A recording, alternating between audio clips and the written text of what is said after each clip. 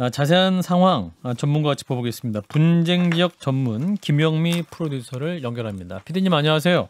네, 안녕하세요. 예, 그 탈레반이 아프간을 장악한 다음에 IS의 테러가 있을 것이다 이런 예측이 있었는데 실제로 현실화가 됐습니다. 네, 그렇습니다. 어, 아프가니스탄에서는 탈레반과 IS가 서로 적대적 관계입니다. 우리가 생각했을 때는 같은 이슬람 원리주의이기 때문에 둘이 같이 뭐 형제같이 지낼 거라고 생각하실지도 모르겠지만 사실은 탈레반과 IS와의 전투가 그 요 근래에 굉장히 많았었습니다. 아하. 그리고 지금 이 상황이 됐을 때 IS는 모든 존재감을 탈레반에게 뺏길 거라는 그런 우려를 분명히 했을 거고 그 IS가 지금까지 해왔던 존재감 부각은 테러 대규모 테러를 통해서 아프간에서 자신들의 존재감을 전 세계에 보이고자 하는 테러 같습니다. 음, 탈레반만 있는 게 아니다. IS도 있다. 이런 메시지가 될 수 있겠군요. 네, 지금 미국이 에, 미국의 힘이 아프가니스탄에서 빠지게 되면 그 힘의 공백을 누군가가 메꿔줘야 되는 상황인데 그게 탈레반이 될 가능성이 많은 상황에서 IS는 자기네들의 정치적 입장과 또 앞으로 그 탈레반과 전, 음, 전쟁을 하더라도 자신들이 좀 우, 우위에 서서 하고자 테러를 강행한 것 같습니다. 예, 그러니까 탈레반 쪽에서는 이제 미국과 서방국들 향해 정보를 제공했다. 테러 관련해서 우리 정부도 어느 정도 파악을 하고 있었던 것으로 지금 드러나고 있는데 적절한 보안 조처가 없었다. 서로 책임 공방을 하고 있거든요. 이 문제는 어떻게 접근해야 될까요? 탈레반 입장에서 지금 IS 편을 들게 되면 적의 적은 동지가 되는 상황인 거죠. 예. 그래서 미국과 같은 방향을 바라보게 되는 거예요. 그래서 그런 점을 좀 피하고자 이런 핑계를 댄 것 같은데 사실상 이거는 뭐 누구도 밝혀 밝혀내기가 쉽지 않은 그런 내용이죠. 예. 미국과 서방국이 구체적으로 어느 국가가 어떤 정보를 제공했는지 탈레반 쪽에서 구체적으로 밝히지도 못하고. 비난하는 쪽으로만 했습니다. 그래서 이 이것은 탈레반이 IS와 아, IS와의 전쟁을 하게 되면 미국과 공조가 돼야 되는 그런 상황을 염두에 둔 것 같습니다. 예. 이번 테러를 강행한 IS 호라산이라고도 불리고 ISK라고도 좀 표기가 되는 것 같은데 정체가 뭡니까?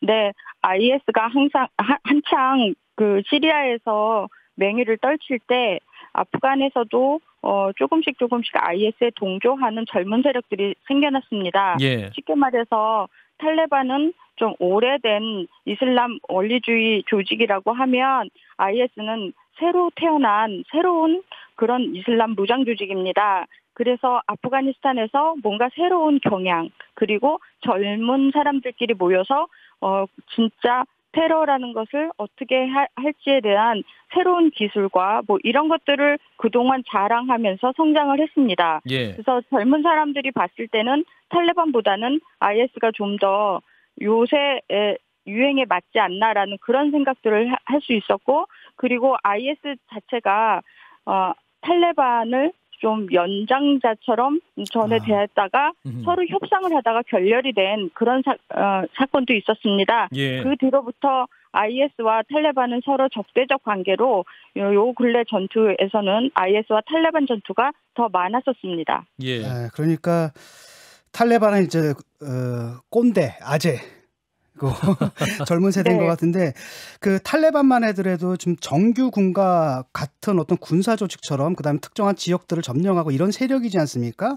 근데 IS 같은 경우에는 어떤 겁니까? 그런 식으로 어떤 자기들이 그 어, 어, 확보하고 있는 영역을 갖고 있는 군대 형태인가요? 아니면 무슨 게릴라 조직처럼 안 보이게 네트워크로 존재하는 단체인가요? 어, 주로 외국과 네트워크가 되어 있는 음, 조직이고요. 동부 쪽에 지금 IS가 본산지라고 자신들은 얘기를 하는데 구체적으로 탈레반처럼 어느 지역을 으, 뭐 캐피탈처럼 이렇게 점령하고 있거나 그러지는 않는 것 같습니다. 예. 그렇지만 젊은이들 사이에서는 탈레반보다는 IS가 좀 더 자신들이 봤을 때 좀 더 싸우는 조직 이렇게 보여지는 경향이 있다고 아프간 사람들은 얘기를 합니다. 바이든 대통령이 이제 끝까지 추적하겠다. 그 대가를 치르겠다 이렇게 얘기를 하고 있는데 사실상 많이 흩어진 조직이기 때문에 완벽한 소탕은 거의 불가능하지 않을까요? 어느 수준까지 이게 가능할까요? 네, 8월 31일부로 미군은 모두 아프간에서 철군을 해야 됩니다. 그게 탈레반과의 약속이었고, 그래서 탈레반이 9월 1일부터 어, 자기네들의 내각을 발표하고 구체적으로 조직화하려고 했는데 예. 지금 이런 사건이 벌어지다 보면 앞으로 어떻게 될 거냐면 미국은 테러와의 전쟁, 특히 이번에 죽은 그 미군들의 손실에 대해서 IS를 끝까지 추적해서 대가를 치르겠다고 하면 아프간 전체에서 그 미군의 영향력이 이어질 거라는 그런 우려가 됩니다. 예. 그리고 탈레반도 IS를 어떻게든지 섬멸해야 자신들의 위치도 어, 지킬 수 있고 이러다 보면 적의 적이 동시가 되는 상황이 올 수도 있죠. 음. 그래서 어, 미국의 대테러 전쟁을 어, 탈레반이 돕게 되는 그런 상황도 벌어질 수 있다고 생각합니다. 탈레반과 미국이 IS를 대상으로 싸우게 된다. IS는 어느 나라에서도 다 선멸 대상이고 예. 이번에 이 테러로 인해서 미국 정부가 가진 충격이 굉장히 크기 때문에 음흠. 앞으로 향후 앞에 아프간의 정책에 대해서도 영향이 갈 것이라고 생각을 합니다. 31일까지 그럼 다 철수한다고 했는데 미국을 비롯해서 주요 국가들이 다 할 수 있을까요? 지금 굉장히 공항도 폭파되는 상황이기 때문에. 탈레반이 만약에 아프간의 합법적인 정부로 어, 등장을 한다 그러면 이 모든 게 탈레반의 몫입니다.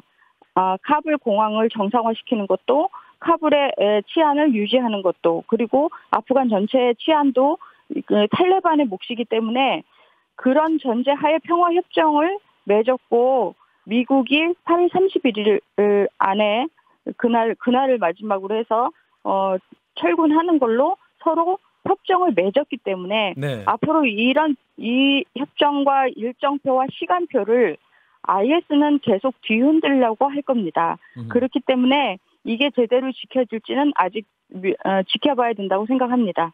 그 날짜 지나서도 남아 있는 분은 어떻게 되는 거예요? 그러면 탈레반도 지켜주지 못하는 겁니까?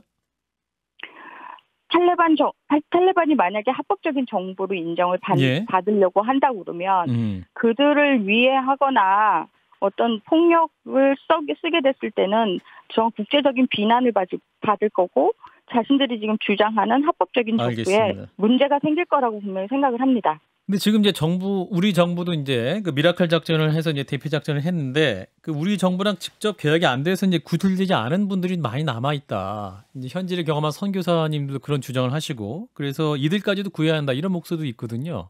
피디님 어떻게 들으셨어요? 네, 그런 부분이 참 애매한데요. 어, 일단 지금 한국으로 오신 인력들은 그 그분들은 어, 미군과 그때 한국군이 있을 때 어, 신원 조회를 마친 사람들입니다. 예. 그렇기 때문에 그 신원 조회가 제대로 되지 않은 상황에서 한국으로 그분들을 모셔왔을 때 어, 생기는 여러 가지 문제점 이런 것도 사실 에, 문제가 될 거라고 생각을 합니다. 그래서 이 우리 정부가 지금 할 수 있는 최대한이 아마 이 정도이지 않을까라고 생각이 들고요. 향후에 아프간 정부, 즉 탈레반이 합법적인 정부가 된다고 한다고 그러면 그때 가서라도 그분들이 위해를 가하지 않도록 우리 정부가 외교적 조력을 할 수 있는지 앞으로 그 관계 설정에 달렸다고 생각을 합니다. 예, 향후 또 필요한 조치가 있으면 공식적으로 정부가 노력을 해야 된다. 이런 정도로 듣겠습니다. 말씀 여기까지 드릴게요. 고맙습니다. 네, 감사합니다. 예, 분쟁력 전문 김영미 프로듀서였습니다.